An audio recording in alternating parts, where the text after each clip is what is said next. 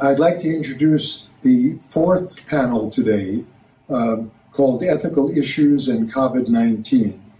The moderator for that panel is Dr. William Parker, uh, who's an assistant professor of pulmonary and critical care, as well as an assistant director of the MacLean Center.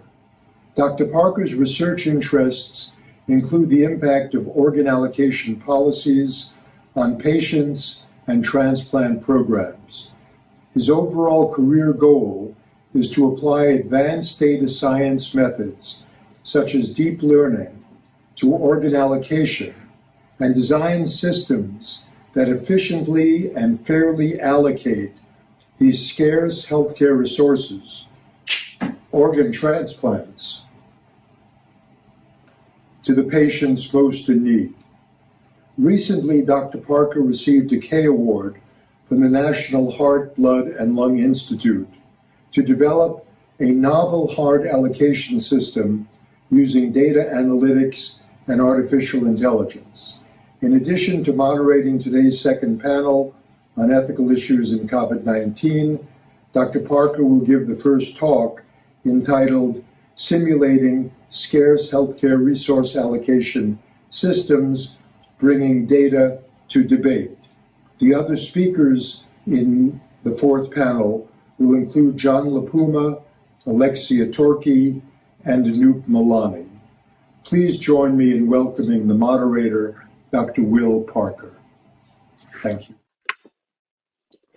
Thank you, Dr. Siegler. Um, you know, you, you promoted me a little bit early. I'm still instructor of medicine until the end of the year, but um, since I've known you, I guess only for 30% of my life, in the percentage of life someone has known Dr. Siegler, you've been promoting me that entire time. So it's a huge honor uh, to be moderating this session and be, to be giving a talk here at the MacLean conference.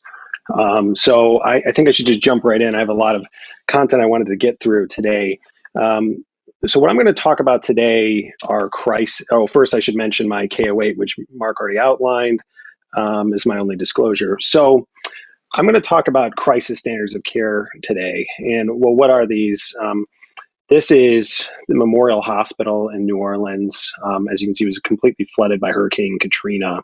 Uh, temperatures inside the hospital reached 100 degrees at, at its peak. Uh, they were without power for days as the patients slowly started to die because of lack of medical care. The physicians inside had to make the tragic choice of deciding which patients would receive critical care and which would be made comfortable because of this crisis and several others, the Institute of Medicine formally defined the crisis of standards of care as a substantial change in usual healthcare operations uh, that is possible to deliver. So when a disaster hits and it's no longer possible to provide all patients that they need the care that they need. This is a situ- these are situations of what's called absolute scarcity, where the flood of patients that need critical care or healthcare resources in general vastly exceeds the amount of uh, available care. Unfortunately, during the first surge in the US, we largely avoided absolute scarcity. There was lots of regional disparities in care, but the healthcare system was able to handle the load. Um, unfortunately, now with the current trends in the COVID 19 pandemic, we may very well hit a scenario where in major US cities across the country, there are just simply too many patients. And what would this look like? Um, you, would imagine scenarios like this playing out across the across the U.S., where there are three patients and one remaining ICU bed, um, and you have, the physicians at the hospital have to somehow decide who is going to get critical care treatment and which patients are going to be assigned palliative care and uh, presumably die shortly thereafter because they will not be receiving life support that they desperately need at that time as their uh, COVID 19 infection progresses. Um, so, you know, you would have imagine that they'd have demographic information about each of these patients, age, gender, and then you'd have some prediction of survival you could make based on their clinical data. Here is the sequential organ failure assessment score, SOFA score, which I'll be describing in more detail later on, that give you a rough prediction um, of what their probability of surviving their hospital stay is. Then you also have other information about their medical condition. And finally, social factors, which I think most of us would think it would be unethical to base an, an objective allocation system on. However, if you didn't have an uh, allocation system in place, may actually dominate how scarce resources are, would be allocated in practice. Um, so Andrew Hantel this morning in his wonderful talk on his allocation work already outlined this great paper by Jibin Persad in the Lancet in 2009 uh, where it, he, he develops a rich framework of all the possible principles one could use to allocate scarce resources. Roughly, there's four big categories treating people equally, utilitarianism, treating the worse off, and promoting or rewarding social usefulness. Now, I'm not going to go into the merits, the pros and cons of each of those at great length. I would refer you to this paper. But the important conclusion from that uh, work is that you can't put all your eggs in one basket. You have to construct a multi-principle framework and all and draw each of these principles should be respected in one way or the other uh, in order to provide to create a rich uh, robust framework that will be acceptable to all stakeholders in the process but I, I would say that the, the problem goes further than that um, oh I, I just wanted to say that they did update their framework for the covid-19 pandemic uh, this is Zeke Emanuel is the first author in this paper in the New England Journal of Medicine. So you can see the framework is roughly the same in terms of the principles that they refer to and the recommendations. However, all the authors were 10 years older, so prioritizing younger patients first kind of went, fell to the bottom of the list. So I don't know if that was a coincidence or not, but before it was heavily um, emphasized in their first framework. So, you know, what are the general points of consensus amongst ethicists about how you would allocate resources in this terrible situation where you have to make these tragic choices. Well, first come first serve is not acceptable. You have if if you relied on that sort of status quo system, the well connected and well off would clearly cut the line and get uh, critical care first. So you can't rely on that system. And then triage committees, not frontline providers, not people uh, ra- uh, shouldn't be rationing at the bedside to use that. Well, should be making triage committee uh, decisions. And how how should these committees make decide who's going to get resources? Uh, critical care resources, ventilators, etc. Well, objective scores and algorithms designed to maximize benefits to the population should be employed. Um, however, we're already run into a problem, right? What, what is a benefit to the population? Um, should these scores maximize the total number of lives saved or the total number of life years saved? Um, so if we go back to our example of the three patients deciding who gets the one ICU bed remaining, if you're allocating based on survival to hospital discharge, the older patient, the 80 year old patient in our example, would would sort of win the the uh, rationing process and go to the ICU. However, you're allocating based on potential future life expectancy. Um, so if you multiply the probability of survival by remaining life years, the the 28 year old patient, even though she's much sicker, would uh, be allocated critical care resources first. So what this example highlights is that you can have a very well thought out and rich normative ethical framework, but when you de design a practical allocation protocol, you have to make real choices which actually um, will influence how those different uh, principles that you've laid out in your framework are weighed relative to one another. And so how have states started to do this? Well, the answer is a lot haven't. Um, and this great work by Dr. Piscitello from Rush, another MacLean fellow, uh, she found that only 28 states even had a, a, implemented a crisis standard of care in their state, and the guidance documents varied widely state to state. You know, the first time Gina made this figure, basically every state was its own color because each of these protocols is materially different in the way they rank order patients in the in the setting of a scarce uh, condition, uh, uh, an absolute scarcity. And but most of them use rely on uh, objective measurements of in hospital mortality as their primary way of rank ordering patients, like the sequential organ failure assessment score. So this is something that we can calculate at the bedside.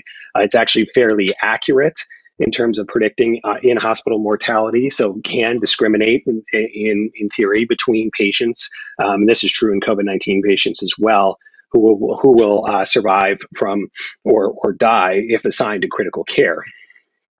And so most states hang their hat on the SOFA score, but the way they use the SOFA score varies dramatically. So in New York, they have certain cutoffs where if your SOFA score is over 11, you're not allocated by ICU resources, a ventilator in, under any circumstances. You're given sort of a blue armband in the mili- military triage literature.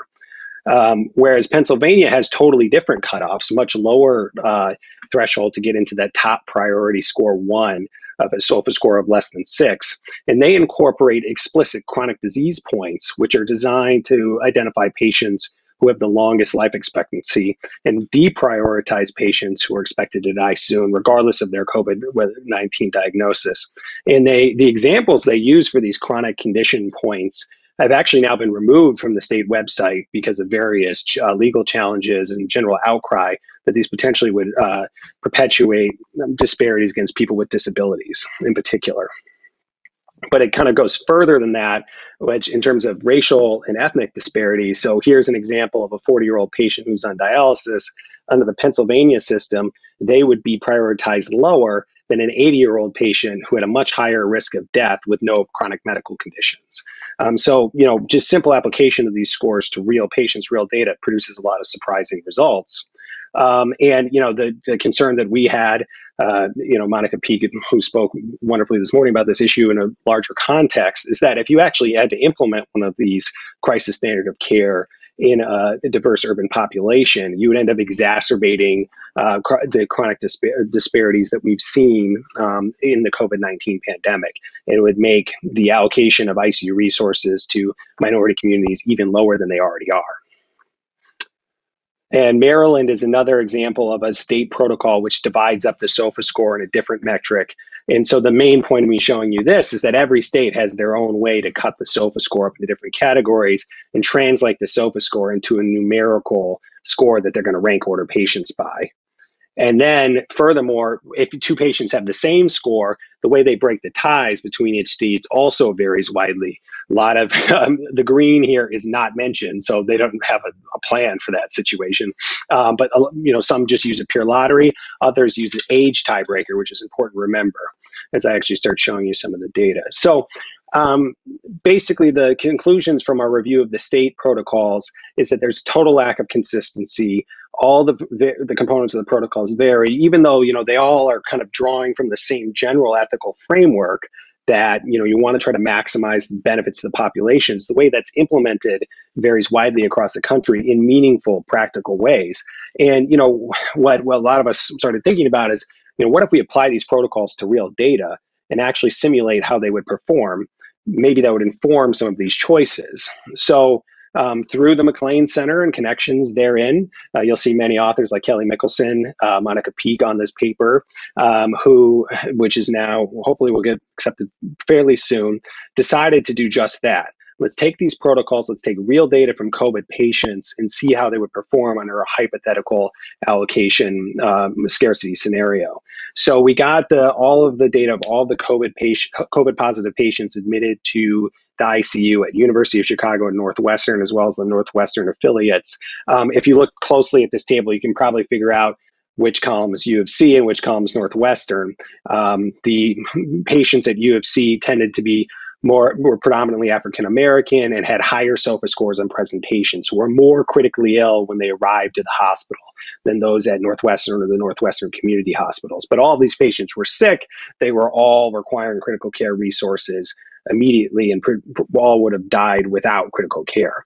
Um, and so basically, what we did is apply the ranking systems, all those three state protocols I outlined earlier, as well as some pragmatic ones sick is first, not not as a serious um, um, thing that we're proposing, but sort of showing how bad things could be if we assign the highest SOFA score first. How would um, how would that how badly would that perform in terms of saving lives?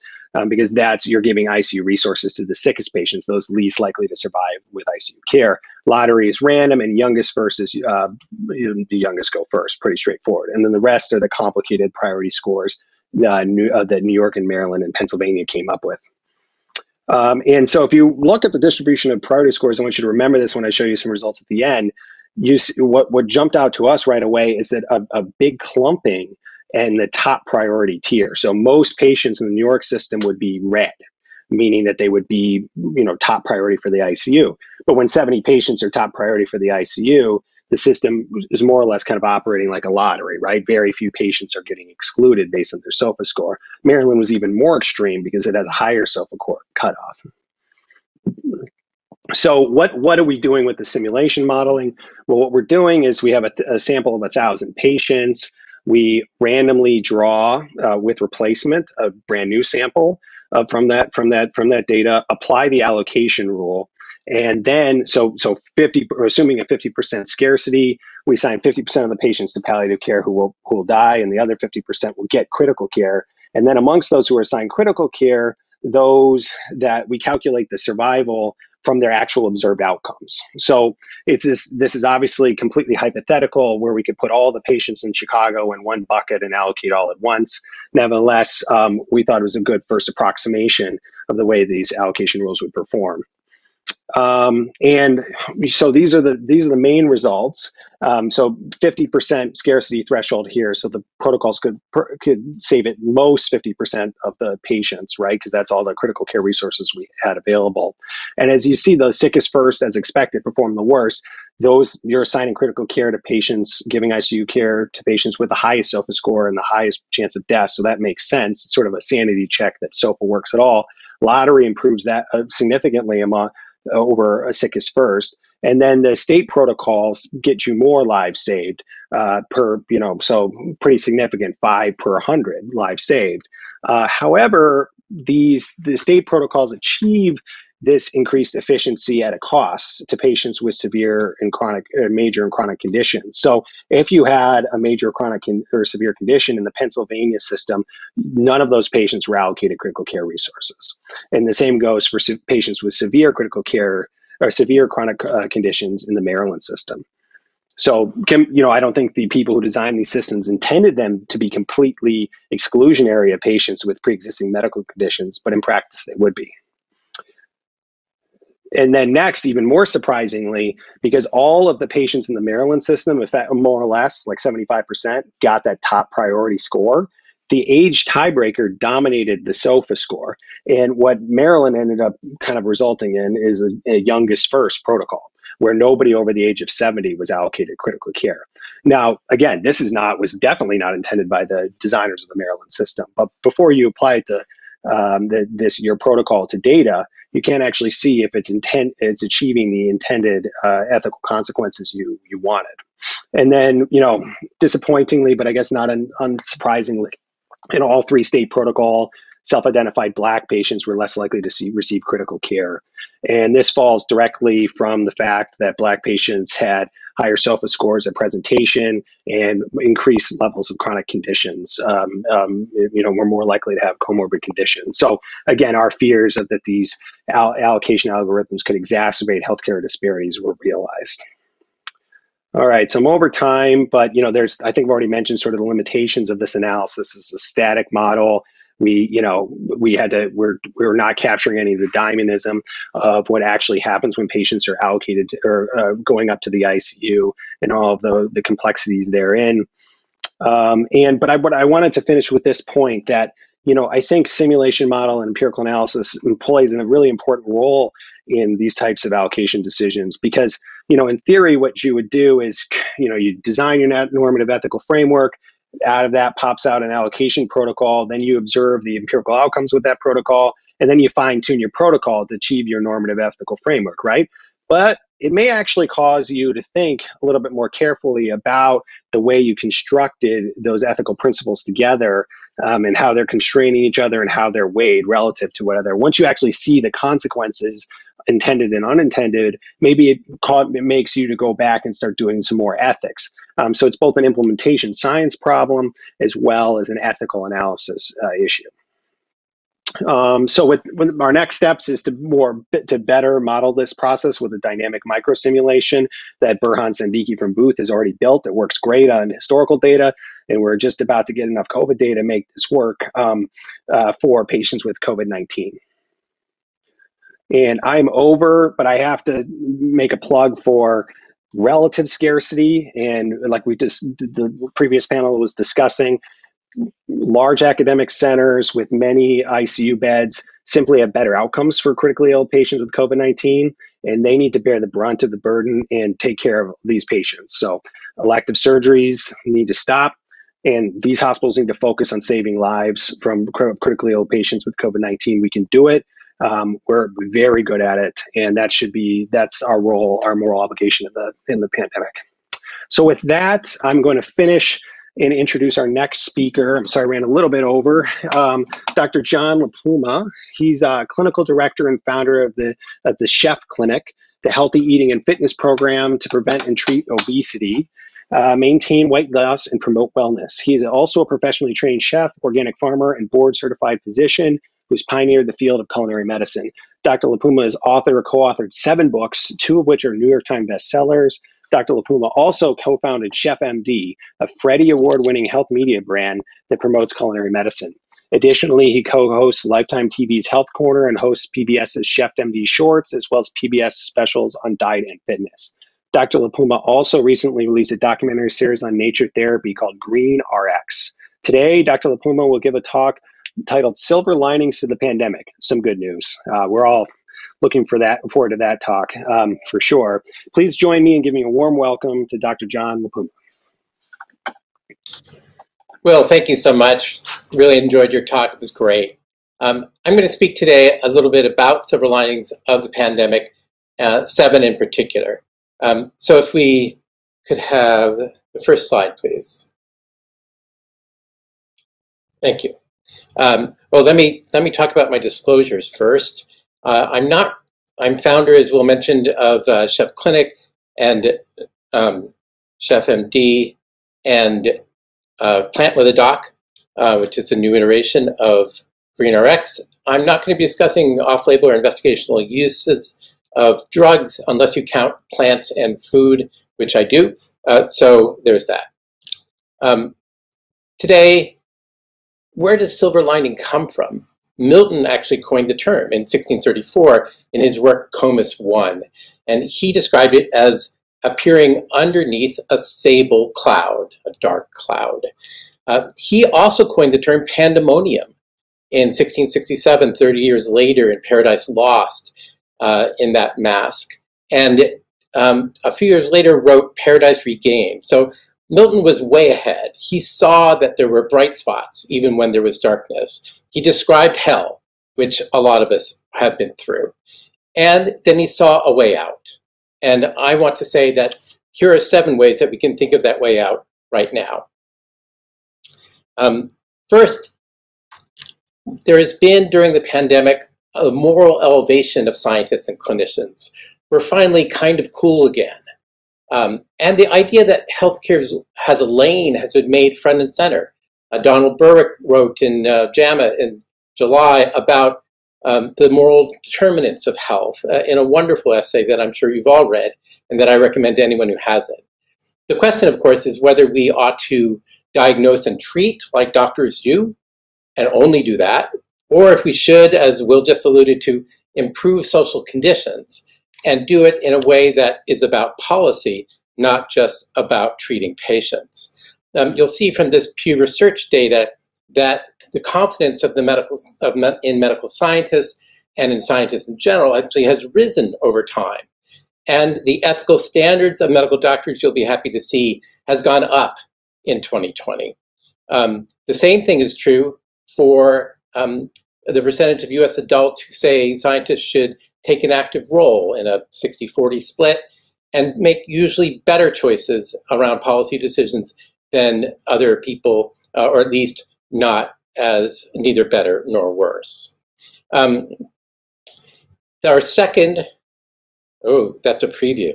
Our second silver lining is that gardening and home cooking are now essential. They're not just nice to have or something you do on a weekend, but they're really important.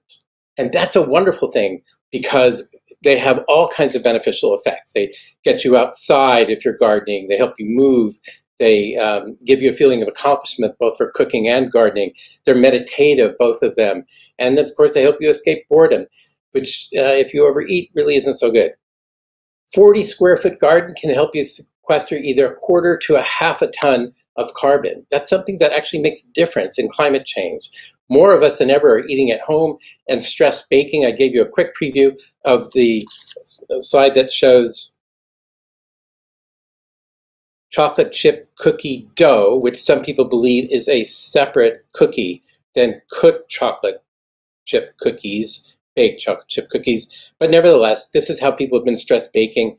Um, this this is really how one ought to be baking, or rather cooking and doing so. And we're seeing more of this as well with fresh greens, with uh, whole eggs, and with oranges. Oranges during the pandemic, actually in the second quarter of this year, uh, were the most popular fruit uh, ever, that is uh, by cash sales. Um, about 75% of Florida's oranges have been lost, as you probably know, to greening disease, but California produces about 80% of the country's oranges. Nevertheless, people have bought them because they associate them with better immunity because of their vitamin C content. Never mind that a red bell pepper has four times the vitamin C of a beautiful Washington navel. Um, gardening and cooking are important not just because they give you more produce, because they reduce your uh, bills, because they alleviate boredom and can be meditative, as I said, but also because they actually have a therapeutic value. They begin to relieve stress. That, that idea that being in touch with nature and being in touch with the soil is a powerful uh, personal tool to feeling better, and we all need to. Uh, here Josie is with four large Armenian cucumbers that we grew from one vine, and here are pickles that you can make from those cucumbers, uh, and someone did in a photo of pickled um, cucumbers and tomatoes. This all to show that putting up what you grow, using extras from what you grow is part of what we've been learning. The third silver lining, climate change is actually reversible, who knew? And that the outdoors is safer than the indoors. You know, particulate matter of 2.5 microns in carbon dioxide and nitrogen dioxide pollution all dropped in the first quarter. They all have started to go up in the second and now third quarter. But for a while, there were dolphins in the Venice canals. You could see the Himalayas. You could hear the dawn chorus, and the songs from the songbirds making up the dawn chorus were both more complex and softer because there was less ambient noise and noise pollution. Um, here you see the uh, drop in carbon dioxide emissions in the first quarter of 2020 more than any other year in the last 120, according to this Nature study, showing that we can actually begin to reverse this if we are resolved to. The fourth silver lining is that mindfulness became essential. Not just a tool of titans like Tim Ferriss writes about in his great book for about CEOs and productivity and creativity, and not just for nutty Californians, but for everybody who wants to be able to focus and not have the pressure of the world upon them with everything from eco anxiety to um, to homelessness and other serious problems. For example, see this slide of the top iPhone app downloads, and you can find the top four iPhone app downloads in the last year of Calm, uh, the next one is number four, motivation. The next one, headspace. And then the final one, reflectly. Of these four of the top nine iPhone downloads and health and fitness can turn meditation. If you don't have a meditation practice, you should investigate one because it helps you focus, it helps you concentrate, it helps you put things in perspective. The next slide will show those kinds of trends in either in the next in the final quarter where we see calm, reflectively, headspace, fabulous, and then to a lesser extent, Meditopia, all in the top 100 downloads of iPhone health and fitness apps in the last corner. Again, emphasizing the importance of meditation in keeping, uh, keeping sane. Fifth, silver lining, it created perspective, as I just alluded to with the meditation practice. What is really most important to us? What is it that you get up in the morning for? Do you get up in the morning and concern yourself with self-care? perhaps you should. Do you get your, up in the morning concern yourself with community care? Oh, is that, how are those related? COVID has showed us that those are intimately related. You really can't have one without the other if you want to participate in American life. What is one small tangible thing that you can do today or tomorrow, because today is almost over, tomorrow, to make somebody else's life in the community better. That might be a family member, it might be someone next door, it might be someone cross country. If you think about that, one small tangible thing you can do today to, to make someone else's life better, then everything begins to have a perspective. You have developed perspective. And that perspective is truly valuable and, of course, at the core of ethics. The sixth silver lining more pets have been adopted and fostered in the last six months than in the previous 30 months. There is 43% less euthanasia. Adoption rate of, of pets is up 73% over the same time period last year. This data from uh, uh, Corollary Society to the Humane Society. Um, it is remarkable that we are saving so many lives of dogs and cats. And I'm not being facetious. They are wonderful. They offer unconditional love.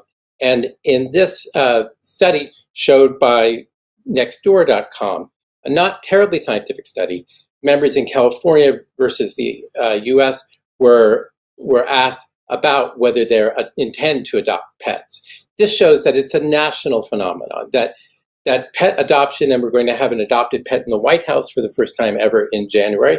All the other pets have been from breeders, by the way. And that's remarkable because saving lives of animals is a powerful tool for doing good, which is, of course, what we all want to do. And as well being is the goal of medicine, that creates more well being. As you care for animals, they, in, in a way, care for you as well. And then finally, who wouldn't want to adopt this or this? Unconditional love. Save a dog, save a life, adopt, don't shop. Next, and finally, um, we got to binge watch four seasons of The Good Place during the pandemic this year in 2020. Uh, that is an improvement. Over last year, we only got to binge watch three seasons of The Good Place. They are available on Netflix. I recommend you do so if you haven't, and I'll show you a couple of clips to show why.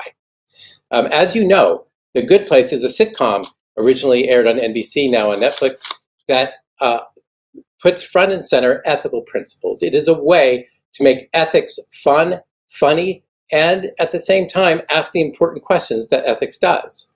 Uh, it's more successful than any other television show I know, or actually any other feature film I know in communicating a lot of the things that we care about, the hard questions of what's right and what's wrong, and of helping people see those questions as, in fact, ethics questions, not financial ones or social ones, but in fact, ones of right and wrong. Now, here um, we get to see ethical principles on television, and with it, we get to see their the humanity of the people who who voice them. Um, here's a blooper to start. Let's see if we can do this. Utilitarian, not utilitarian. Util I know, Morgan, I read all the same books Mike read for research for the part. I have read none. Uh, yes, she did. And uh, Kristen Bell can make anything wonderful. And Mike, of course, is the creator of the great, of the Good Place. He also uh, created Parks and Rec. Um, he's a really talented guy, Mike Schur. Um, here is another way the Good Place instructs us about our humanity and the questions that we deal with with patients all the time, but in a different way. Where do we go next? I won't exactly know what's going to happen after I die. Nothing more human than that. Besides texting people that you're five minutes away when you haven't even left the house nothing more human than that. Nothing better as an actor than Ted Danson in a sitcom. Nothing more important than putting front and center what it means to be human, especially during this time of COVID. And then finally, uh, here is a, a little clip that shows what a good teacher can do. Lessons of ethics. It's only when the act of studying is combined with the process of relating to others that we become better. You've been our teacher this whole time, and we are much better because of you. And that is really true. Um, Mark Siegler, we are much better because of you. And thank you so much for your attention. Well, thank you, John. That was uh, that was just what I think a lot of us needed, especially me staring at the barrel at several weeks in the what will increasingly become a COVID ICU. Some silver linings. Nice to and I, I, have the privilege of, oh, I'm supposed to, from a housekeeping point of view, um, remind you to put your questions in the Q&A uh, session and then upvote the ones you want us to ask because there's already a lot. So we'll have to focus our efforts. Um, but now it's my pleasure to introduce Dr. Alexi uh, Torke. She's Associate Professor of Medicine and Associate Division Chief of General Internal Medicine and Geriatrics at Indiana University. Additionally, Dr. Torke is the director of the, Daniel F. Evans uh, Center for Spiritual and Religious Values in Healthcare, and also the fellowship director of the Fairbanks Center for Medical Ethics. She's also a research scientist with the Indiana Indiana University Center for Aging Research at the oh, I'm going to maybe miss this one Regenstrief Institute and practices outpatient palliative care at IU Health uh, Methodist Hospital. Her research focuses on end of life care, patient communication, spiritual aspects of care, and surrogate decision making. She was the first person to describe and analyze the relationship between doctors and healthcare surrogates. Today, Dr. Torke will give it a talk titled Surrogate Decision Making in COVID 19 Patients. Please join me in giving a warm welcome to Dr. Lexi Torke. Hi, thank you all. It's great to be here. Um, and I agree that that talk by Dr. La Puma was just what I needed. I feel calmer already. So we can begin with um, my first slide. Um, I don't have any um, disclosures, but have some NIH funding. Um, back when Mark asked me to give this talk, um, my head was just spinning. We were in the early stages of the pandemic. It was really all I could think about. Um, I usually don't do any inpatient care, but probably like some of you, I was called in to do inpatient palliative care consults um, to help support our incredibly busy service. Um, and I was living um, through new challenges in um, a topic that I've researched for many years um, surrogate decision making. for this talk, I'm going to take us back to the earlier stages of the pandemic and talk about a case um, I'll also talk a little bit about some research we've been doing about provider experiences and also um, some innovations that um, we've been using to help support our patients and families. Um, you know, and then we'll think about how we might address similar cases going forward. So take yourself back to early April. There was tremendous uncertainty um, about transmission to clinicians, as other speakers have mentioned, especially during resuscitation, intubation, and procedures. There was restriction on providing resuscitation, at least in our institution, where we were really encouraged not to go running into rooms, but to make sure we were wearing proper PPE before we um, initiated resuscitation. There was a restriction or complete shutdown of family visitors, um, which put family in, in a place of increased stress and grief as they made decisions and coped with serious illness um, from far away. There were actual shortages and also feared shortages of PPE, particularly things like N95 masks and PAPR. Um, there were staffing and unit reorganizations in many hospitals, including ours. There was fear of ventilator shortages, although we did not actually experience that, and I think um, really very few places have yet. There was poor knowledge of COVID disease management, which was incredibly distressing. We didn't know what medications to use, what ICU and ventilator settings to use. Um, things like prone positioning um, and other strategies were just being uncovered. And finally, tremendous clinician distress about so many aspects, um, many of which have been covered by other speakers. Um, I'm going to briefly tell you about a study that um, I conducted with one of our fellows at the time, Ariba Javed, who's now um, gone off um, to Wayne State University, but she conducted a cross sectional survey of clinicians in May through June of 2020 in two large health systems in Indianapolis that was administered electronically and got a response rate of about 25% um, with over a thousand respondents. Um, I just want to I want to describe some of her findings because I think it gives some examples um, of the kind of distress people were feeling. Um, many of our, probably the majority of our respondents um, were physicians and nurse practitioners. Um, we also had s- small numbers of nurses, social workers, and others. Um, and the specialty were primarily in internal medicine, although um, there was a wide variety. And 89% had participated in direct patient care during the COVID times. Um, we first asked them questions about moral distress, um, kind of items that we identified um, a priori that might cause moral distress. I wish I'd asked something specifically about surrogate decision making, but I really didn't think of it at the time. Um, and as you can see, the one that was most common was wishing, witnessing the rationing of health care resources. um, followed by um, witnessing deviation of clinical practices from the standard of care.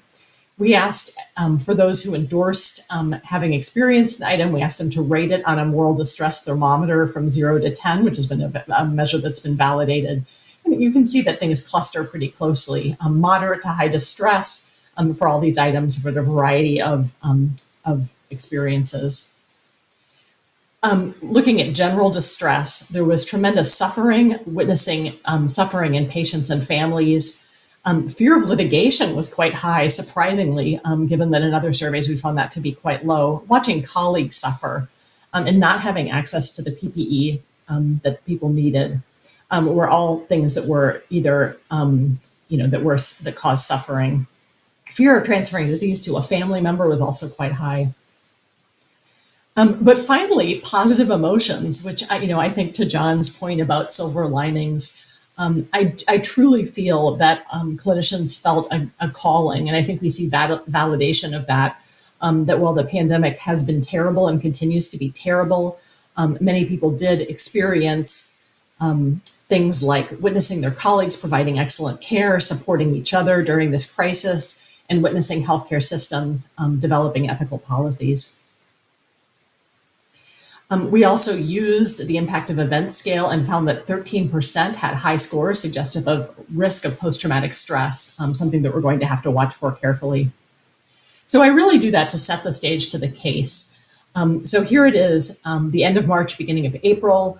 Um, many of us have been called in from other services. We are extremely scared and stressed out. We worry about endangering our patient, our families, um, and ourselves.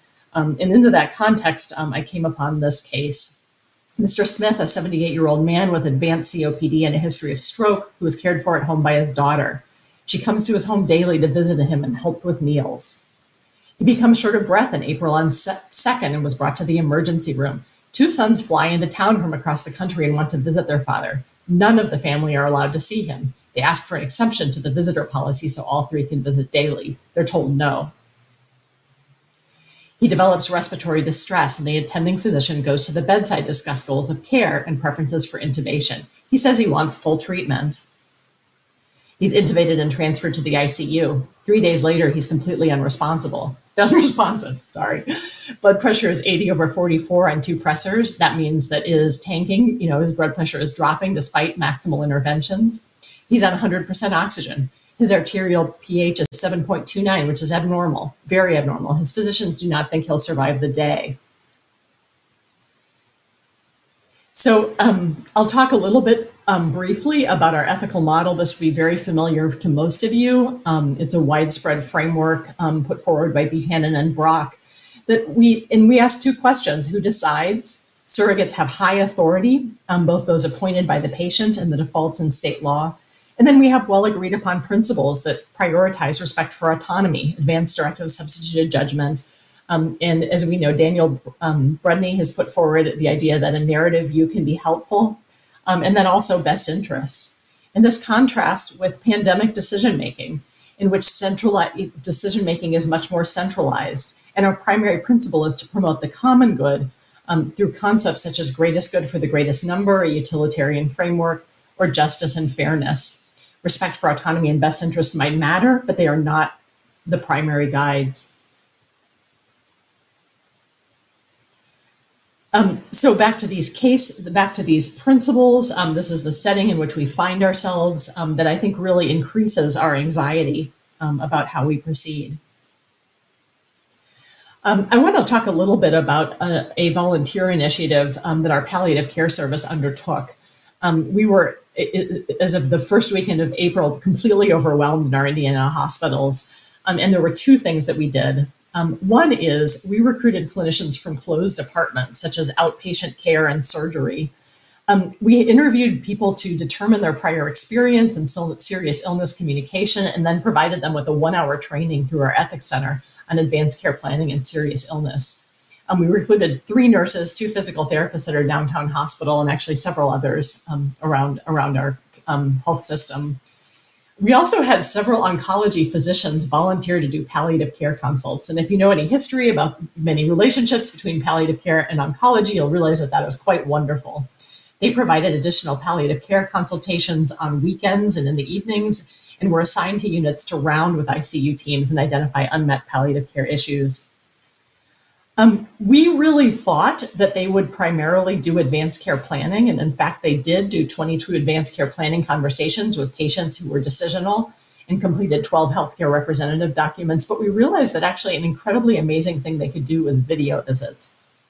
Our um, patients and families had such anxiety about being separated from each other, and it was so hard to facilitate family meetings.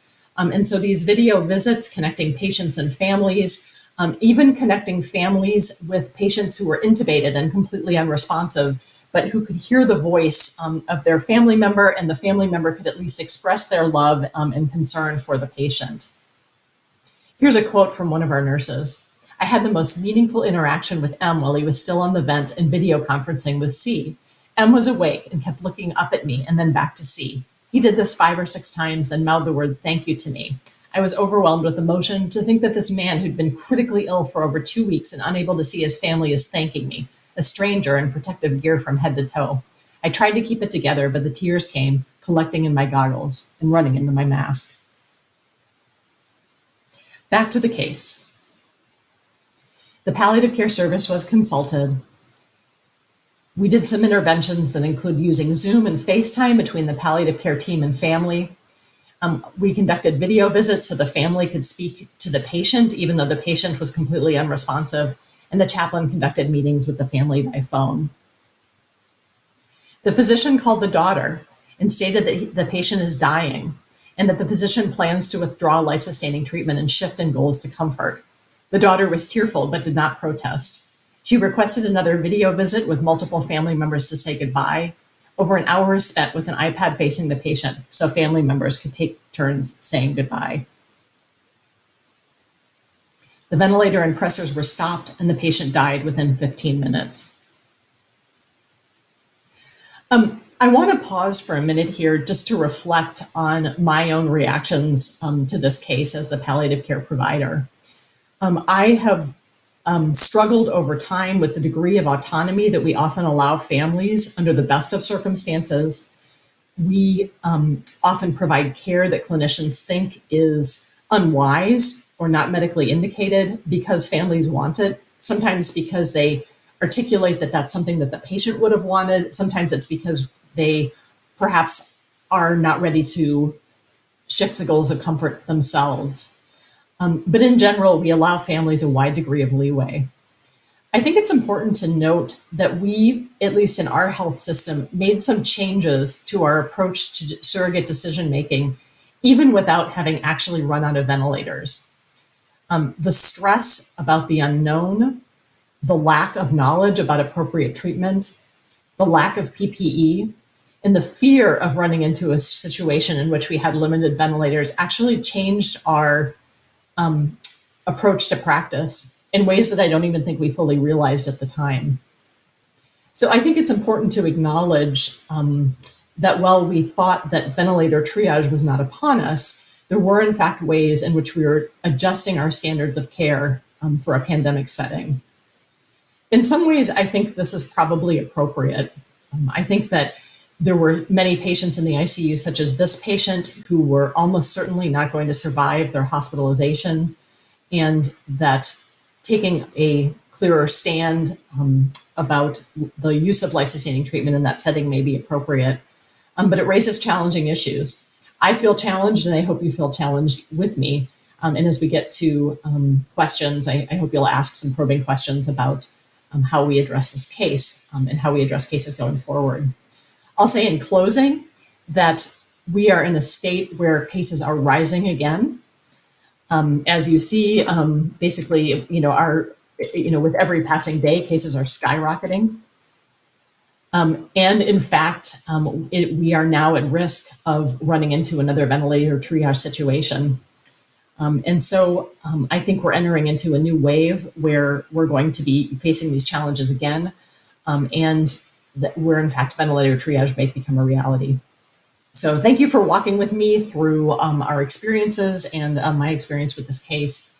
Um, and again, I just, I do really do want to thank all of you. Um, it's so good to be here with you and to have this time to kind of pause for a moment um, and consider um, our experience with COVID as we move into the next phase of the pandemic. So thank you very much. All right. Well, thank you, Dr. Torke. That was uh, an excellent talk. You know, I think mine was more about this crisis scenario of absolute scarcity that we haven't hit yet, but there's plenty of ethical controversies to ponder in the contingency care strain situation that most of us experience. Um, now it's uh, my pleasure to introduce Dr. Anup Malani. He's the uh, Lee and Brena Freeman Professor at the University of Chicago Law School and a professor of medicine at Pritzker. Uh, Professor Malani is clerked for Judge Stephen Williams of the U.S. Court of Appeals for D.C. and, and, and for Justice Sandra O'Connor in the U.S. Supreme Court. Professor Malani's interests include uh, health economics, and development economics. He has contributed significant research on healthcare financing and quality of life in the urban slums of India, notably through the Indian health insurance experiment and his impact evaluation of Mission uh, Kakatiya. Uh, today, Dr. Professor Malani will give a talk uh, titled Ethical Issues in India's Response to COVID 19. Please, recommend, please join me in welcoming Dr. Nu uh, Malani. Thank you. Thanks, Will. Um, uh, I don't know if everybody can see the presentations, uh, so if we can go ahead and start that. Great. Um, so let me go ahead and begin with my disclosure. So I don't have any particularly particular conflicts of interest. I have some funding from Asian Development Bank to support some of the work that we've been doing for the Indonesian government on COVID response and then funding uh, uh, that we're receiving from the University of Chicago and elsewhere uh, to support uh, our efforts to help the Indian government in its response um, and to do some research there, and then some prizes uh, uh, that were associated with the work that we did.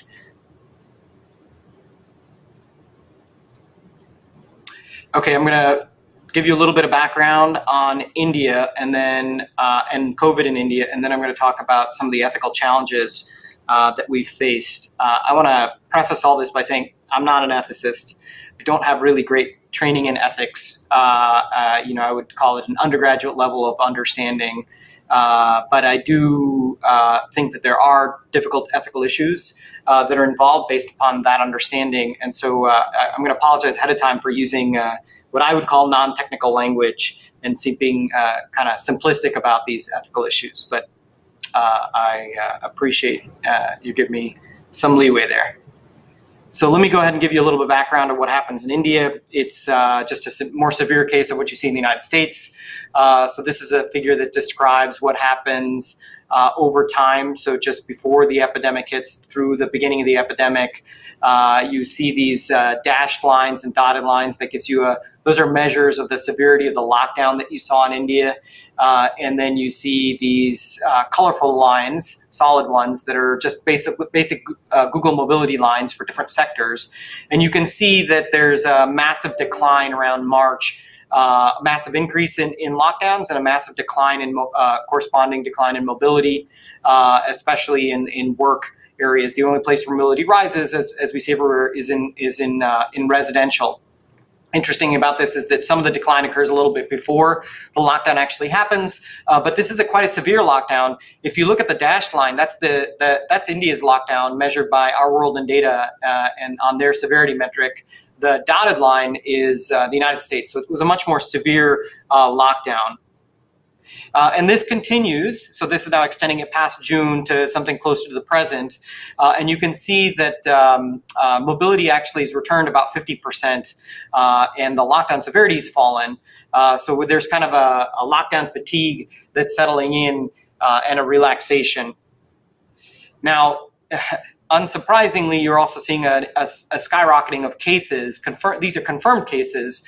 So just as as the uh, as severity, uh, the mobility reduction is is coming back, that is to say, mobility is coming back. You're also seeing in the black line uh, an increase in the number of daily cases. Um, of course, when you're interpreting that, you have to be a little bit careful because testing is also rising. Testing per million, the green line, uh, is also rising. uh, during this period. But I, I, don't think there's any question that there's an increase in the number of cases that we've seen, uh, at least as measured by confirmed uh, cases. I'm going to give you a little bit different story uh, in a sec.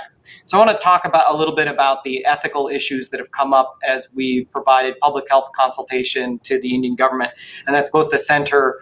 Uh, and and states. So the first one is, um, as I said, India had a massive lockdown. Uh, um, it was quite severe. Uh, but it, interestingly, in India, uh, there's a lot of opposition to. I mean, there's a lot of opposition to the lockdown in the United States, but it was just uh, um, uh, uh, kind of at a higher level, I would say, in India. And one of the issues that comes up uh, although the next slide is going to give you even a more salient issue. One of the issues that comes up is that there's a implicitly a massive redistribution that's involved in lockdown. Uh, so uh, on the right hand side, you're going to see two figures that are based upon two studies we did. One is based upon a serological study we did in Mumbai and in slums and non-slums of Mumbai. Uh, we're also able to look at what the age distribution of IFR is using those that that representative serological study, uh, and you see a you know uh, older individuals have a higher death rate. Um, on the bottom, we were providing uh, some services to, to kind of uh, to Bihar, helping them uh, analyze tests that were coming in, their RT-PCR tests. And again, you can see this massive uh, skew in the probability of death given COVID in Bihar. The levels were lower in Mumbai uh, than they are in Bihar, but there's still this skew and you're getting numbers something like, uh, you know, if you're over 70, you have a, let's say, a 30 times greater likelihood of dying than if you're under 20. Now, what that implies is that when you think about a lockdown, if it's reducing the probability of infection evenly across the population, and as far as we can tell from the data, the probability of getting infected is uh, uh, roughly even across the ages, uh, but the health benefits are dramatically higher uh, in uh, the older individuals. So older individuals are getting a lot more of a health benefit. Um, but then when you think about the economic costs, the economic costs are kind of evenly split. If anything, older individuals, because they're more likely to be retired, have a lower cost. And what that suggests is that there's this massive redistribution that's going on, which has ethical implications. Uh, so in lockdown, we're basically asking lo- younger individuals, uh, in some sense, to, to cross subsidize older individuals. I'm not saying that it's not net beneficial to have a lockdown. I'm just saying that there's uh, disparate impacts uh, or benefits of a lockdown. Um, so let me uh, go ahead and advance the slide and, and show you another dimension along which this is true. Um, so here uh, on the right is a study that I'm working on with Arpit Gupta where we look at, we have a panel data of what happens, very detailed data on the finances of uh, uh about 175,000 households in India over the last few years, including into, into COVID. And what we see is a that when COVID hits, so you see on the uh, x-axis dates the first dashed line is the first case that you see in India. The second dashed line is when India does a lockdown. Uh, we're plotting your income uh, for different income uh, occupational categories relative to what it was or as a percentage of what it was uh, in March 2019. And you can see that there is a massive do- drop off in income, much more severe than you see in the United States by far uh, for nearly all, income, all, all, occupational groups. But you see that, you know, white co- like uh, uh, people that are salaried employees, white collar, blue collar, they're seeing a maybe 25, 35% drop but if you look at the poorest people, so people that are daily wage earners, um, uh, daily laborers, they're seeing a 90% drop in income. Massive, massive reduction, and this persists. Uh, so I'm not showing you the, the data that we have going out, but this is this kind of captures the falling off a cliff. It's shocking. And unlike the United States, there's no CARES Act, uh, so there's not a lot of fiscal support to buffer that. Um, but what this really implies, though, uh, is that there's another massive redistribution that's going on in the lockdown. Uh, lockdowns, economic costs are being borne by the poor, uh, but the health benefits are roughly evenly distributed in the population, as far as we can tell. Uh, so that's uh, kind of the, the kind of the big benefit, a big impact. Um, in fact, you could also make an argument that the health benefits are a little bit bigger for the rich because they happen to live a little bit longer too. So, in terms of life years that you would sacrifice, it would be bigger for uh, uh, rich individuals than poor individuals. So, again, there's a, a health skew as well. So let me uh, now turn. That was uh, uh, um, uh, talking about um, uh, lockdown, but now I want to think about ethical issues associated with testing. So we've been doing a lot of testing, either supporting through data analysis, RT-PCR testing that states are doing, or by doing all, our own serological work. Um, but that raises a really interesting question around informed consent. So, so let me set the frame here. India tells people they gotta they gotta give up work, uh, and that doesn't give them a choice. Say you know voluntarily give up work. Um, it tells people that they can't get access to certain types of healthcare because we're we're we're kind of shutting down access to a lot of facilities, elective services. Again, you don't have a choice in this matter. Um, and in fact, it could have done the exact same thing with respect to testing. They actually invoked what's called the Pandemic Act from 19, 1897 and said we can make people test. But in practice, they didn't. They actually required consent to get tested for a lot of their work, especially for their serological surveys, including the serological surveys that we supported in Mumbai and Karnataka. Um, and I'm going to show you in the next slide is the, the result of one of these. Uh, I'll show you the other one in the next one. But this is one that just came out uh, this week. Uh, it is a serological study in the state of Karnataka, population 67 million. It's in south and central India. Uh, we went around the, through various regions of Karnataka, both in urban and rural areas, and we found shocking results in terms of, of seroprevalence. So we're finding overall seroprevalence uh, um, of, of 46%, uh, and then you see something like 44% in rural areas and 53% in urban areas. It's a very uh, India is much less urbanized than say the United States is. Um, so that's suggesting that, that, that, you know there's, there's high urbanization, but it, but it's really important to remember. Oops, I think it's uh, I want to go this way.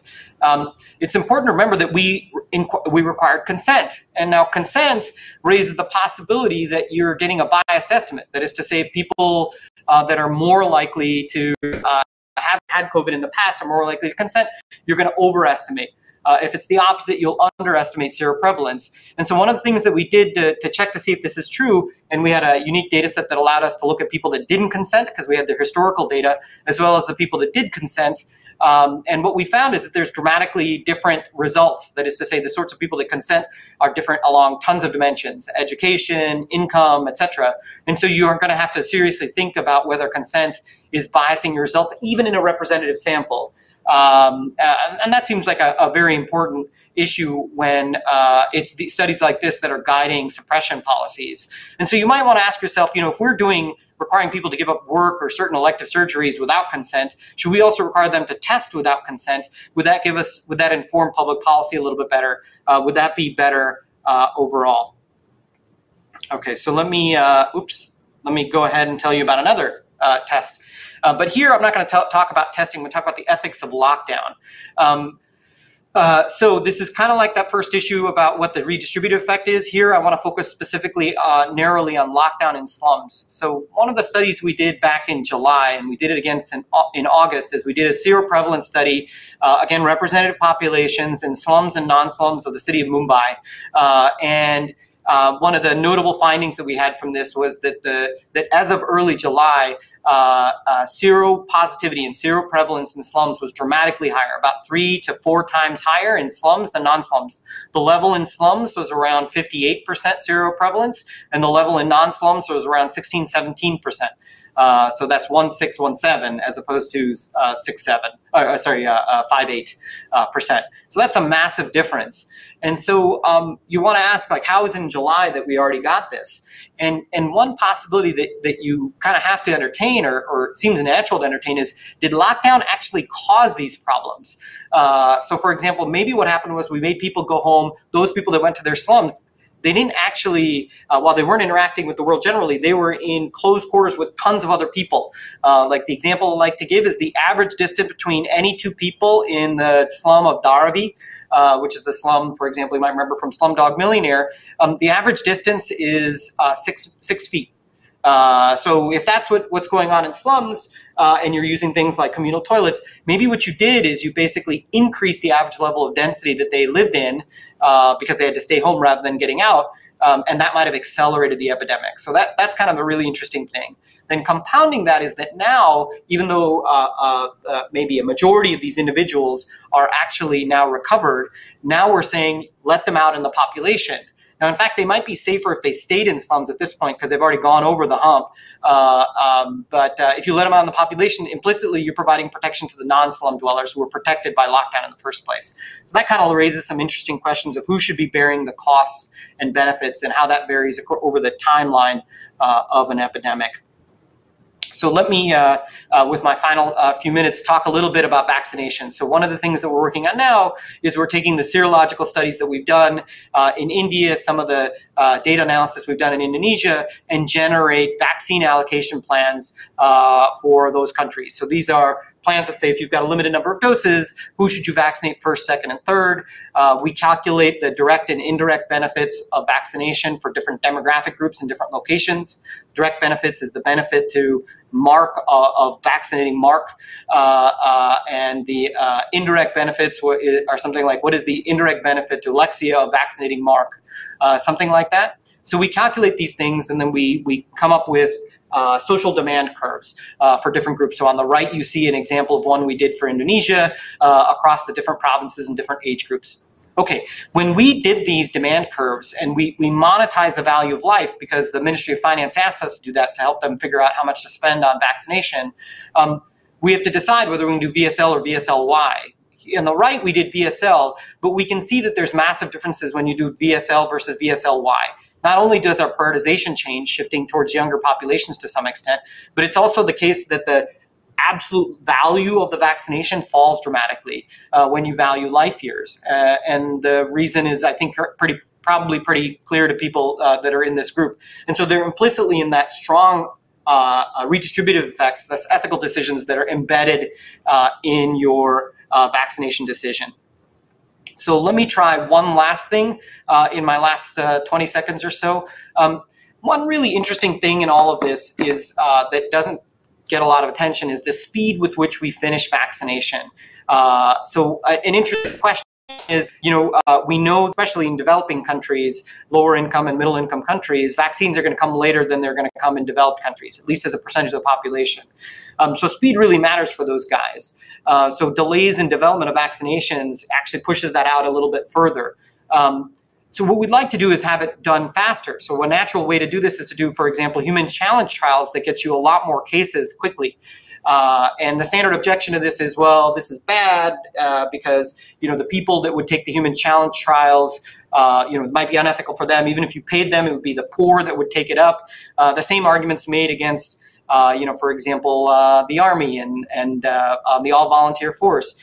Um, but we're comfortable making those decisions in other contexts like construction and the army and, and all sorts of risky jobs. The question is, should we be comfortable in this context, especially when, from a consequentialist perspective, in the long run, poor countries and poor individuals might actually benefit uh, if we are able to get the vaccine earlier. In fact, they benefit more because they're maybe less able to suppress uh, and stay home. Let me stop there, uh, and because I think my time's done.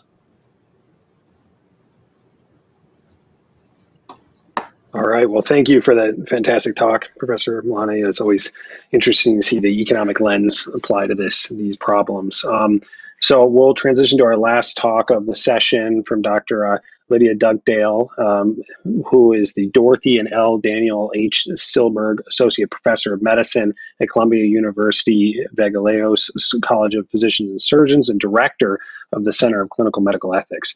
She also serves as Associate Director of Clinical Ethics at New York Presbyterian Hospital, Columbia University Irving Medical Center. Practicing internist, Dr. Uh, Dugdale's scholarship focuses on end of life issues, medical ethics, and the doctor patient relationship. She edited the book Dying in the 21st Century um, and is now the author of The Lost Art of Dying Well, a popular press book on the preparation for death. Uh, Dr. Dugdale attended medical school at the University of Chicago and completed her residency at Yale New Haven Hospital. Uh, hospital. Uh, please join me in welcoming Dr. Lydia Dugdale. Great. Thanks so much uh, to everyone on the panel, and thanks to Mark for the invitation. Uh, it's, uh, as so many have said, my career is completely different uh, for the better because of Mark Siegler, and I'm grateful to you and to Anna. So thanks so much. Uh, if I could have the slides up, please. So I thought I would start uh, by just painting a picture of what it was like in New York in March. I have lived in New York City for just over one year. After medical school at U of C, I went to Yale for residency, as Will said, and then I stayed on faculty there for a decade. And it was only a couple of years ago that Columbia recruited me uh, to build a center for clinical medical ethics there. Uh, so I have to say, it's been a very strange season to be a New Yorker. Uh, we moved to the city, COVID hit, and 40% of my neighborhood left the city based on forwarding addresses and cell phone data and two thirds of the Upper East Side uh, also left the city. So the streets were empty. Uh, and what was particularly eerie is that you would almost never see children outside. I don't know what kids did who stayed in the city, but you would never see them. The streets were very empty and very quiet, except for the sound of sirens. And the sirens were constant. Uh, it was not uncommon to hear four, five, six ambulances in the space of an hour. And I didn't quite put it all together because there generally is so much noise in New York City. I didn't put the sirens together with the virus until the streets were completely empty. And uh, my daughter pointed it out. And then we started seeing people carried out of their buildings. Uh, in one case, my neighbor across the street was carried out through a window uh, because the EMS were unable to get in through the door. Uh, so it was an eerie, an eerie time and a time of high anxiety in the hospital. Uh, thinking about this sort of current nationwide surge now and contrasting it to what we knew in March, it's very different. Uh, it's a very different time. Um, but uh, yeah, I just wanted to sort of set that stage I'm going to be talking, however, today about uh, uh, what we experienced as ethics consultants at New York Presbyterian Hospital during the surge. And uh, this paper we published in the Journal of Clinical Ethics, my, my consultant colleagues and I did. And I'll just say this uh, from the beginning the COVID pandemic, as it swept through New York City, it was devastating. Uh, we couldn't test. Uh, we we could test somewhat, but we only tested patients who met criteria for admission to the hospital because we had such a short supply of the swabs. Uh, we couldn't quarantine people, so I, I mostly was uh, redeployed to the emergency room. I'm an outpatient internist, but I was redeployed to the emergency room, and I was routinely sending patients back to apartments. And I was supposed to tell them, "Go home and quarantine, use your own bathroom, stay in your own bedroom." And uh, Columbia's hospital, where I work, is in a largely Hispanic neighborhood.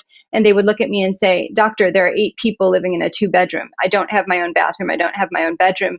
And we would sort of, you know, sh- shrug, I mean, as compassionately as possible. But that, that was the situation that we were in. So when Alexia talked about PTSD, uh, certainly I know that that has been real for many of my colleagues. Uh, we knew that we were spreading COVID and we had no choice uh, but to do that. So we also saw a significant number of uh, consults specifically for COVID patients.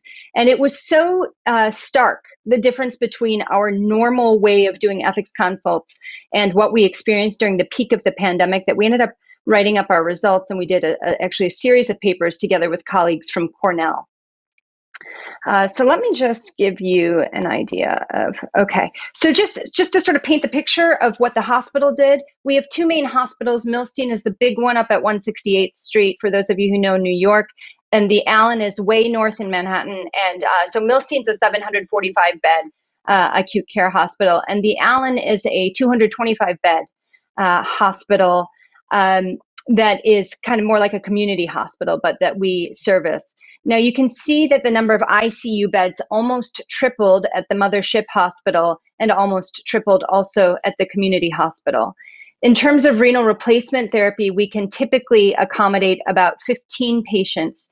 And during the surge, we had as many as 60 patients who required uh, dialysis. We couldn't do continuous dialysis and we ended up interestingly we we did not run out of ventilators and that, that's something that i'd be happy to talk about in the q&a but we did experience shortages of dialysate and of course of the machines themselves. So we had to get very creative with how we were able to essentially partially dialyze many patients uh, you know not standard of care of course in order to sort of spread around uh, the the resources that we had, and then of course coming up with creative solutions to obtaining dialysate was another part of that. You can see that our ICU nursing doubled or tripled in terms of what the nurses, uh, uh, even quadrupled in terms of the number of patients that the nurses were expected to care for.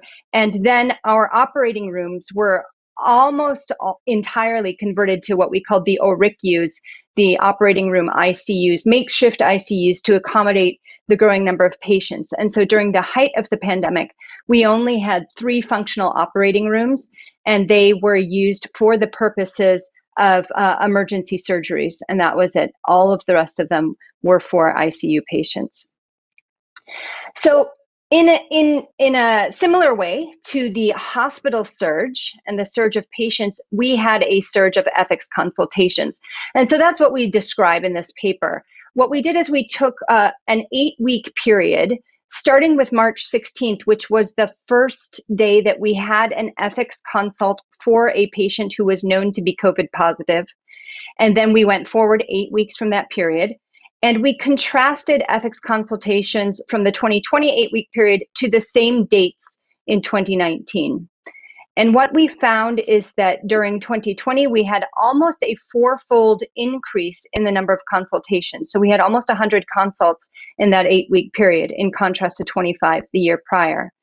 Uh, interestingly, the vast majority of them were for patients with COVID, and that reflected what the state of the hospital was. So 83% of those uh, nearly 100 patients had COVID. And at the time that we were looking at this data, 77% of our patients hospitalized overall had COVID. Uh, now, you may you might think that uh, a fourfold increase in ethics consultations during the height of the pandemic is not much, um, and and maybe that's true. And I and I think that the reason why it's only a fourfold increase and not, for example, a six or eightfold increase is because of the work of my palliative care colleagues at Columbia. So, similarly to what Alexia described, our palliative care team retrained and then deployed forces, really, armies of folks who could go into the emergency rooms and counsel patients who were presumed to be COVID positive, appeared to have COVID, on goals of care. And so, this is a paper that my colleagues at Columbia put together. They describe a two week period during the height of the pandemic where they uh, retrained psychiatry residents, fourth year medical students who we graduated our fourth year medical students early at Columbia to help out in the hospital, and uh, some geriatricians. Uh, th- there were several several groups, but those are the main ones, and they they retrained them uh, to be able to have these goals of care conversation, and then sent them out in teams, and that had a huge impact. Uh, both on sort of getting advanced care documents in place, but also offloading the burden on the ethics uh, consultants. So I'm just going to highlight a few uh, remarkable uh, pieces of data from our our study, and that is that uh, we had a significant increase in the number of patients who were Hispanic or Latinx. Uh, you can see that we went from 4% in 2019 to 40%, so a tenfold increase. Uh, we there's sort of several ways to perhaps explain that. Of course, our primary hospital is located in a largely uh, Dominican neighborhood. Uh, but it's also interesting to note that in non COVID times, anyone from all over the country would come to Columbia for various reasons. So we have a very large catchment area in non pandemic times. But what happens during the pandemic? Well, first of all, tons of people get out of out of town, uh, but they also don't want to come to New York City. Uh, so we did not have we, we we largely drew during the pandemic from our neighborhood and only from our neighborhood. And I think that that was reflected both in the number of uh, patients uh, who were in the hospital of Hispanic and Latinx origin, but also of those for whom we were uh, consulted. Um, it's also worth pointing out that uh, our patients during the pandemic were much, much sicker than in non pandemic times. So, if in non pandemic times, about two thirds of our uh, consultations are in non ICU patients, it flipped during the height of the pandemic. And about two thirds of our patients for whom we were consulted were located in the ICU. Also, notably, the vast majority did not have advanced directives. So, only 11% of the patients for whom we were consulted had advanced directives. Now, I told you that the vast majority were uh, of Dominican origin. And when we look at Kaiser Health uh, data for who has advanced directives, we know that nationwide about 37% of people have advanced directives. But of Hispanic communities, uh, the, the typical number is about 11%. So, what we found in terms of the patients for whom we were consulted, again, from our neighborhood, it was the fact that about 11% had advanced directives. That's in keeping with uh, data that we have from Kaiser. Um, now this this was interesting. So we uh, broke down all of our consultations into the reasons for the cons- consults, and then we sort of tried to group them together. So, for example, care at the end of life uh, includes things like assistance with goals of care, but it also includes issues surrounding brain death. And again, New York City has a large Orthodox Jewish population. So we uh, actually not infrequently have consultations regarding questions related to brain death, um, medical futility, uh, uh, unnecessary care. There were a number of consultations, especially later in that eight week period, on uh, whether whether uh, teams needed to perform CPR for patients who were already maximally resuscitated, if you will, uh, intubated on multiple pressors. Uh, but all of those sorts of questions come together into this category of care at the end of life, uh, end of life decision making. And then, of course, there's conflict. Uh, there was a, a, a probably more conflict than normal because, as others have dis- described, families were not allowed to come into the hospitals, and that created a lot of um, concern that perhaps loved ones weren't going to get the ventilator or they weren't going to get the best care. Uh, things that have been described in the media, we would all often hear from family members uh, these questions of, of uh, resource allocation and a lot of concern that their loved ones would not be receiving standard of care. Uh, capacity and treatment over objection uh, is sort of a, a perennial question in our hospital. We uh, tend to have also a relatively large homeless population and a population with mental health um, mental illnesses. And so that that often raises these questions of capacity that ethics gets drawn into and then cat- kind of a catch-all category. So i just want to pivot very quickly uh, to this image. Uh, it's an etching by the italian artist luigi sabatelli and Sabatelli, if you can see in the Italian at the bottom, it says the plague of Florence as described by Boccaccio. So Sabatelli was an artist that lived in the late 1700s and early 1800s. But the scene that he is describing was written about by the humanist and the philosopher, the writer, the thinker, uh, Giovanni Boccaccio, who lived in the 1300s. And um, this is a scene. We are outside the walls of Florence during the bubonic plague, and I know Laurie Zoloth ended the last uh, the last panel talking about the bubonic plague outbreak in the 1600s, and here we are in the 1300s, outside of the walls of Florence, and you can see in the foreground, middle to slightly to the right, there's a heap of corpses, a mass of dead bodies, and uh, there's a, a, guy with something that looks like a gurney. It may be a funeral bier. He's adding more corpses to the mass. And in the background, you can see some men with pickaxes. Um, they are presumably waiting uh, to bury the dead. And so this is a scene, th- this was a time in history when historians estimate that perhaps as many as two thirds of the population died. And it prompted a real reckoning with the need to prepare well for death. And that has been sort of one of the themes of my own scholarly work, and in fact, uh, led to um, my my both of my books. But this one most recently, the manuscript for which I completed a year before the pandemic started. Uh, but this book takes as a foil the bubonic plague outbreak of the mid 1300s, which prompted a whole genre of literature on the preparation for death and it asks how we might prepare for death today. And I think, you know, in this moment of uh, a surge nationwide, uh, the the coronavirus sort of uh, you know reeling out of control, but also the hope of a vaccine.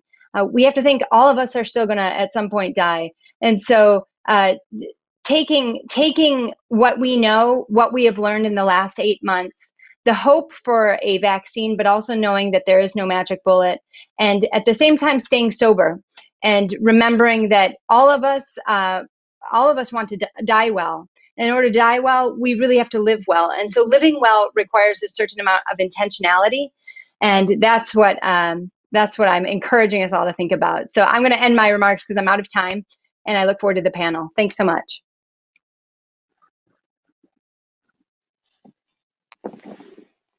All right. Well, that was a fantastic uh, talk, Dr. Dugdale, and um, really seems like, well, not technically under crisis standard of care that you know Columbia, New York was right on the brink. Um, so I am going to start to moderate the panel discussion now.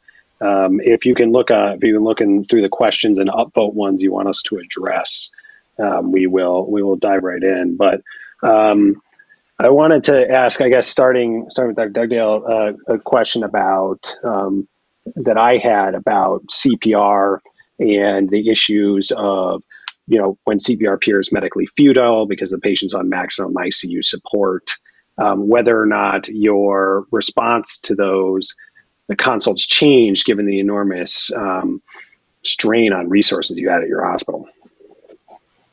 Yeah, great question. Thank you. So, New York state law holds that if a patient or family insist on uh, medical technology, that we have to continue that. Uh, there is a very subtle caveat, but it is so complicated that our legal counsel has advised us essentially if a family wants full court press, that's what we do. So that's essentially the um, the practice. Now, in the Washington Post, there was an article during the height of the pandemic in New York City that uh, uh, NYU's emergency room had unilater- unilaterally decided that they would not do CPR on COVID patients those of us at Columbia felt like that was not, we, we couldn't have done that, that we didn't have the freedom to do that. Having said that, um, there, there is a way in which we, we saw the maximally resuscitated patient as being a patient who would not benefit from chest compressions uh, should the heart stop, right? So patient maxed out on pressors, intubated in the ICU, if that patient's heart were to stop, you know, doing some chest compressions is not going to uh, going to give this person a shot at life. And so the hospital uh, legal counsel did give us permission to um, not to authorize uh, uh foregoing that, um, but to give teams essentially the discretion to make a decision that was a very very narrow slice of time when that was actually uh, authorized. So for the rest of the time, yeah, we uh, we were so, resuscitating. Yeah, I mean to use Mark, Mark's four box model, you know, that's a situation where CPR arguably is not medically indicated, right? So it's sort of irrelevant whether or mm-hmm. not there's a COVID nineteen pandemic, but I think a lot of hospitals all of a sudden, because of this contextual feature of the pandemic, that okay now it's all right to do unilateral DNRs for situations like you described, which I think was sort of a you know the the logic there doesn't totally follow right. The rationale for foregoing CPR in that patient is equivalent whether or not they had COVID nineteen. Um, but you know the, the, same thing happened at Northwestern. They had they they they had a different interpretation of the state law in Illinois and would, would always code patients. Um, but changed their policy during the pandemic. Now they're deciding whether to ro- roll it back or not. It sounds like you guys already rolled back on the. Uh, well, so the ethicists have a. Yeah, and the ethicists have a different view than the legal counsel, right? But we're sort of we're bound by the counsel. I'll just say briefly that there was a period of time when Governor Cuomo did give authorization to EMS, uh, to first responders and, and, ambulances, not to resuscitate patients they thought were COVID positive. And there was a massive, massive backlash, and he quickly rescinded that executive order. So the, the sort of ethos in New York State is it's, you know, people first, and you don't necessarily trust the establishment. And, um, and so we err on the side of life. Interestingly, it's a, um, yeah. Uh, Dr. Torke, how about you at Indiana in CPR? Was there? Yeah, I mean, I, a couple points I will make is that I think from an ethical point of view, there genuinely is a difference in terms of the risk to clinicians in performing CPR on patients with COVID that was especially acute when PPE was very limited and hard to get your hands on. Um, you know, our um, we do not have such a strict state law, although our practice is generally um, that we have a very complex um, procedure for overriding patient or family preferences regarding both code status and withdrawal of life sustaining treatment. And I would just say that in practice, that was changed somewhat. Um, the DNR thing was changed actually with the um, kind of explicit blessing of our leadership um, that we we could be um, we could make unilateral DNR decisions. But I saw it even go beyond that and I think that was, um, you know, the part of the case that I presented that I feel the most concerned about.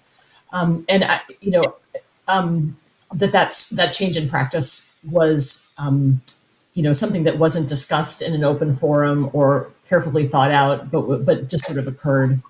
Um, and I, I, really think it's time to take a pause and think seriously about the right way to proceed um, while we have while we have a chance to do that. Yeah, no, it's a serious. I think the overuse or overstretching the c- scenarios where um, a CPR is not medically indicated, right? Um, that's a very kind of tricky clinical judgment.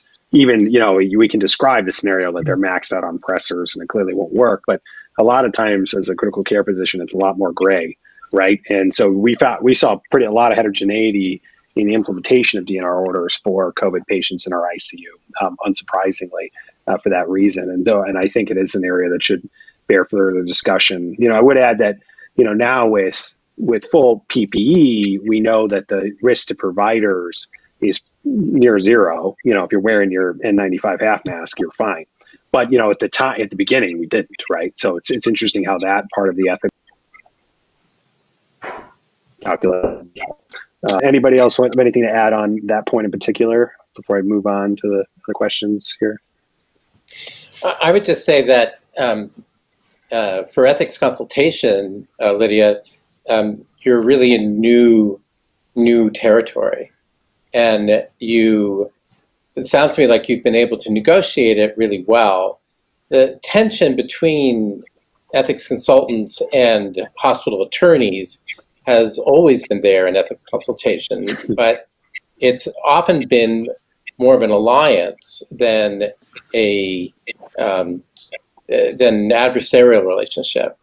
And so I'm sad to hear that uh, the clinical judgment in ethics consultation has been so effectively challenged by your um, hospital attorneys and and hemmed in really by the state law, um, uh, because that's it, it, it, wasn't often the case when I was doing a lot more of that.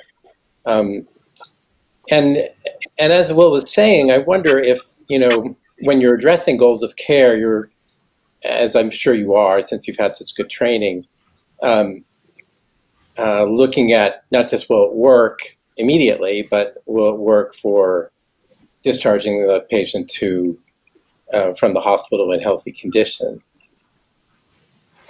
Yeah, John, if I can just reply really quickly. Um, so I don't I don't mean to misrepresent the relationship between ethics and the legal counsel. I think we work together very well. But the state the state of New York has some pretty um, you know strong feelings about this. And I'll just say during the height of the pandemic, the ethicists were meeting daily uh, with with the hospital legal, um, in part because it was such a moving target. There were new executive orders. We had a couple of different orders that did give retroactive protections to healthcare workers, sort of a an expansion of the Good Samaritan law, if you will, uh, so that healthcare workers knew that even if it was crisis standards of care, they would be protected.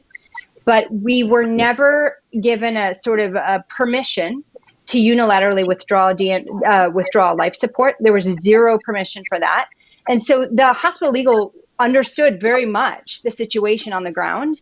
They were very responsive, but we were bound by the state, and I.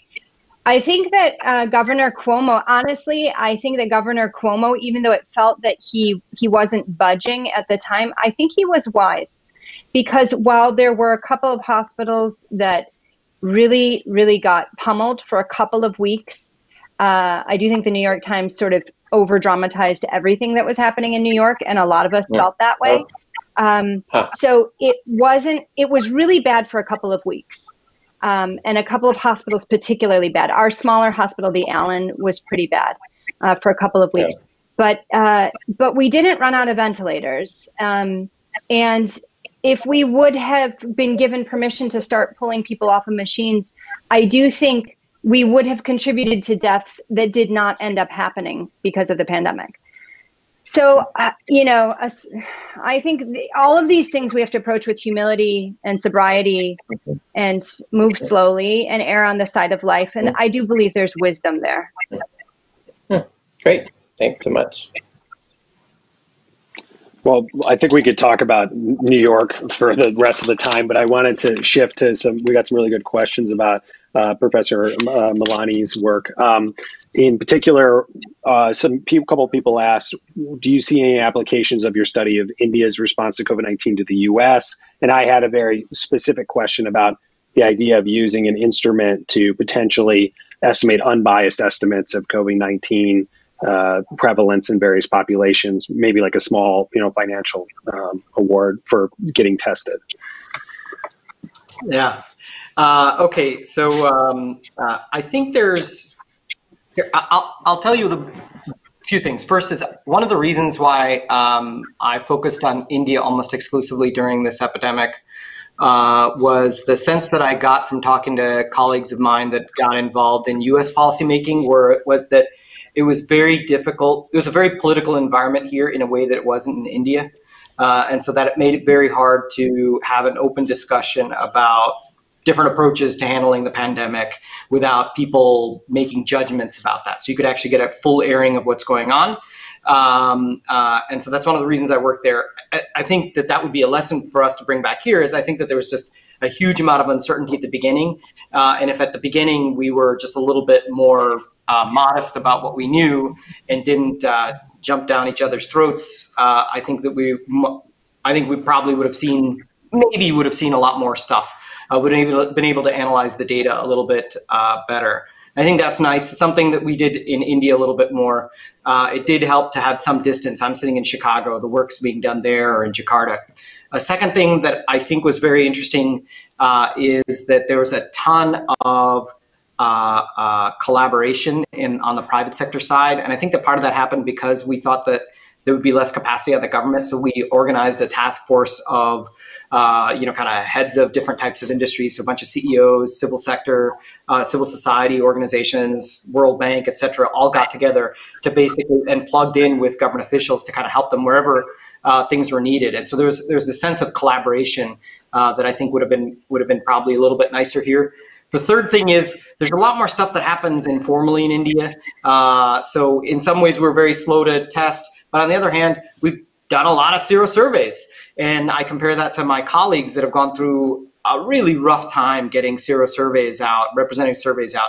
There are ethical issues. There's issues about approval of the tests. There are just issues about recruitment. There's liability issues. We worry about very little of that in India, so we're able to act a lot more quickly. Um, the last thing is, you know, um, uh, uh, we're able to just kind of have open discussions about vaccine priorities. Not everybody's going to listen to us, uh, but at least we're thinking about it.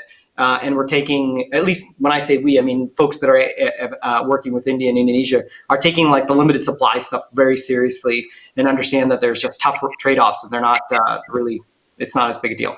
Um, on paying people to get consent, it's something that actually a group of researchers at Chicago have been thinking about. People like, uh, you might be working with them, like Alex Torgovitsky and Magne Mogstad and and uh, and and Vinny Van Um, and the difficulty has been it's just very hard to get approval for that sort of stuff in the United States. Um, uh, we tried to do that when we did the Karnataka study at the beginning, and the thing that stopped us wasn't the ethical review. Uh, and, and, just to be clear, I was involved just as a, in a public health capacity in doing that stuff. I, I only see the data at the back end, uh, uh but um, in that context, when we suggested this as a design, it wasn't the government that was opposed to it; it was the survey that was going out to doing a lot of the work was worried that this would kind of uh, create an expectation of payment, so they didn't want to do it. But we are uh, we were able to gather data on people that didn't consent and people that did consent, so we're able to see what the impact uh, of consent is, and so now we're working on that topic now to see if we're getting real bias due to consent.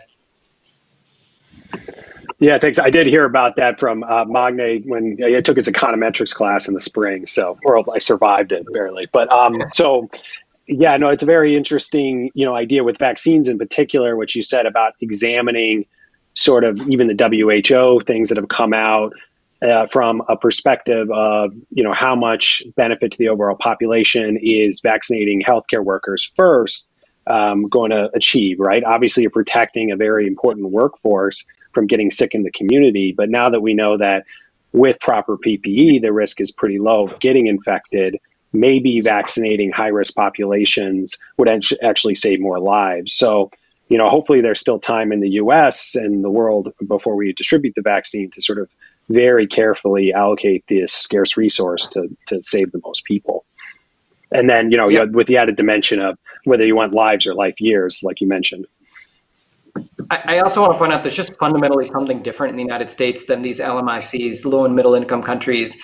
In the US, when I just compare their two, two situations, we live in prosperity. That sounds weird to say in this context, but I don't think there's any question that we're going to have enough doses for everybody. It's just a question of pure distribution. Whereas for a lot of other countries, it's the distribution is also there, but they also are not getting the doses that they need to cover a large percent of the population.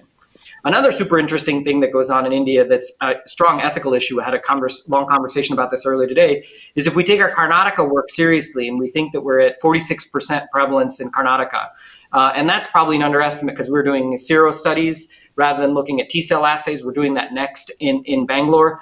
You know, what if you find that by January, February, 75% of the population is already exposed in one area and 40% in another area?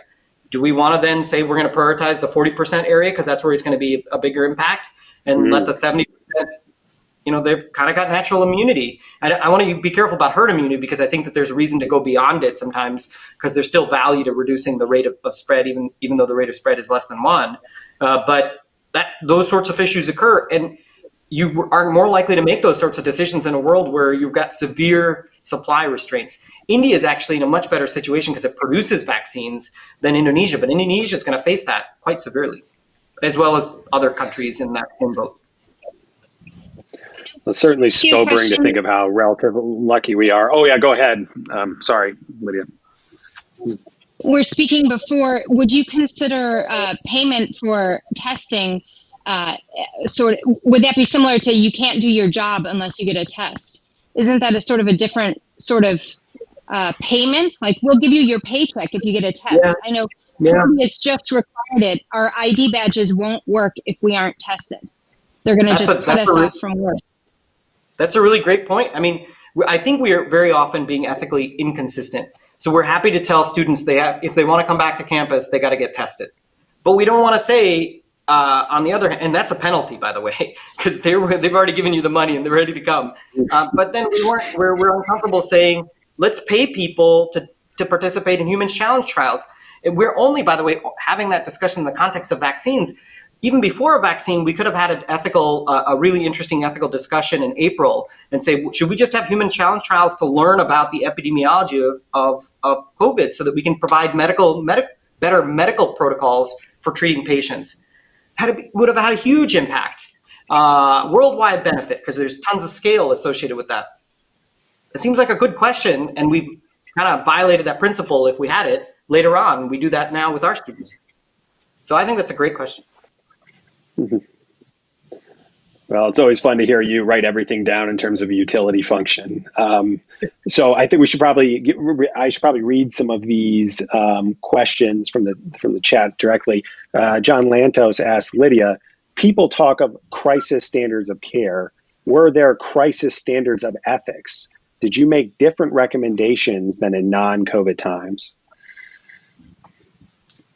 Hi, John. Thanks. Um, so not not really. I mean, with the exception of at the end of the worst part of the pandemic, uh, changing our thinking, if you will, on what is maximal resuscitation. That was that was really it for us. We did draw up a number of, of policies that were not adopted or enacted. So that's what I've got. All right. Um, the next one is um, from Kelly, who asked me, given what you know, how would you structure critical care scarce resource allocation policies? What would the primary ethical driver be? Um, so I don't, I guess, um, I don't totally, I haven't totally decided. I want to do better modeling with more data, but I think I'm gravitating more and more towards just pure lottery systems because in the US, you would think any absolute scarcity in a given place would hopefully be brief, right? you know, it sounds like Columbia was right up against the point where they were thinking about it in New York. And, you know, in order to get these efficiency gains with the SOFA system, um, they're minor, first of all, over lottery in our simulations. you'd have to create significant disparities among uh, you know, racial lines and against people with chronic con- conditions. So maybe it's best that if you're only going to be out of ICU beds for a short period of time, that you that the, the principle of treating people equally dominates, and you just allocate by a simple uh, lottery. Now it's hard to tease out like, isn't there a first come first serve in that intrinsically because people have to get in the line to get in, in to get into the lottery in the first place. But at least you know you make um, progress towards uh, distributing the resource fairly, if not the most efficiently. And I should say I didn't get a chance at the end of my slides to thank Lainie Ross, who is my uh, you know, uh, along with Mark, my main mentor over the years in thinking about scarce resource allocation, really got me started in this area. So thanks, Lainie, if you're still listening. Um, I don't know if any other people have thoughts about you know, if you could design a scarce resource allocation, critical care resource allocation system, if we're if that's where we're headed, um, you know, if you if you thought any of the state protocols were uh, compelling or or what. So I, I have a, an interesting that. So I actually emailed you separately about this based upon your presentation, which is when you use these lottery systems, there's this kind of weird spillover benefit, which is that you can learn about the efficacy of the treatment uh, uh, when you do that. And it's it, it seems kind of weird to, to, to, talk about it that way, but there's actually discussion now by folks like Alex Tabarrok and, and Scott Kominers saying that we ought to think about that for vaccines. So if we have limited supply of vaccines, what if we distribute it by lottery? Uh, not only is there a fairness benefit, but we actually, as a society, benefit because we can learn about uh, the efficacy of the vaccine or side effects from the vaccine in a large population. Um, and so I, I, think it's a really interesting question uh, about whether or not uh, I think there are a lot of benefits to the approach you're taking. I'll just say that.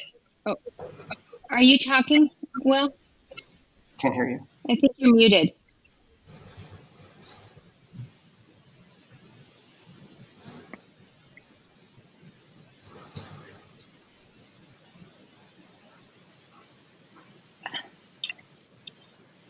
Well, maybe while Will, are you getting your sound? Okay, I'll just talk for a quick second. Um, uh, the the one thing that really struck us, so our you know John Lantos, our contingency plan was sort of something modif- you know modified version of SOFA and triaging based on that.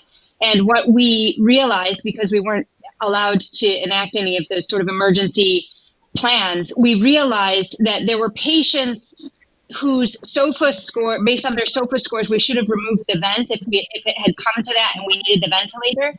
And they ended up surviving to discharge. So what we found with COVID is that the patient, it, it just didn't make sense. It didn't make sense on how we understood uh, previous viral illnesses. We were constantly surprised. We were constantly surprised by very elderly people who would go out with trachs and pegs and then come to follow-up visits uh, later, having had you know the devices removed and they were sort of back, it took months uh, to recover, but we were constantly surprised, and that's why. Well, I do. I I guess I've become more nervous about using those kinds of. Um, those kinds of protocols, such as SOFA. Uh, I know you're still trying to talk, Will, and we still can't hear you. But at any rate, I do like the idea of the lottery. I, I'm moving towards that myself. You should speak. You should. Can I barge in? Can you hear me at all? I can hear Mark. Yeah. Can you hear me? I, I, I, I'd like to just say a, a, a quick word to, to thank your panel. Um, it, it was a fabulous group. Um, uh, I mean, Will and, and John and Lexi and Lydia and Anup. Um, I have one thing that I wanted to say, and that is that John La Puma was the first fellow that we trained at the MacLean Center in July of 20, uh, July of 1985. Uh, we had opened the MacLean Center in December of 84, and John was number one fellow trained. He was the only fellow that year. Um, uh, and um, so I just wanted to announce that. I, would like to say a quick word about tomorrow morning. who, who mentioned Lainie Ross uh, just a minute ago? Uh, Will did. Um, Lainie Ross is going to be moderating the morning panel at 8 o'clock in the morning on pediatric ethics. Um, the um, the speakers will be Mark Sheldon uh, from Northwestern, Megan Collins from Hopkins, Lainie herself, uh, Rick Kodish from Cleveland, and John Lantos from Missouri. So that that'll be on pediatric ethics, and that'll be before the dean comes on, uh, D- Dean Polonsky, uh, with the award presentation. Um, but I, I wanted to congratulate your group and thank you so much for joining us. Thanks, guys. Thanks, Will. Bye, Anu. Thank you. John. We should say that the the um, award presentation tomorrow after the first panel is to Mark, and uh, and the, the MacLean Center Prize is one that not only he initiated, but he gets, and uh, that in itself is an accomplishment. But that, now, you know, I don't get, I don't get the money. Everybody else before Why? me. Oh no! What happened? Because, because I'm a University of Chicago faculty member. And so. Oh my God! The fifty thousand dollar prize that has gone to all previous winners is not going. Oh, can't we can't take a leave of absence for a day? Is it a? I'm delighted and honored to, to get the prize uh, without the money. That's fine. Uh, but uh, Well, we, we really look forward to your remarks, Mark, and, and it, it will be a, a, a wonderful, wonderful occasion. And, and I, I, um, will, I will I will give remarks afterwards. Yes, yeah. Okay, great. I, I really I really appreciate it. Thanks so much to your committee and to Will. Thanks, guys. Bye bye. Good. Well, we'll see you tomorrow. Thank you. See you tomorrow. Bye. Okay. Bye bye now.